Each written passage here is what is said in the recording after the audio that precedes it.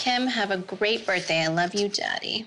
What is that? This is a box that Grandma Lou gave me.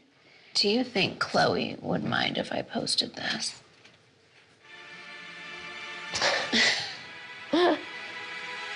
so she's got five home runs. She's cutest on the team.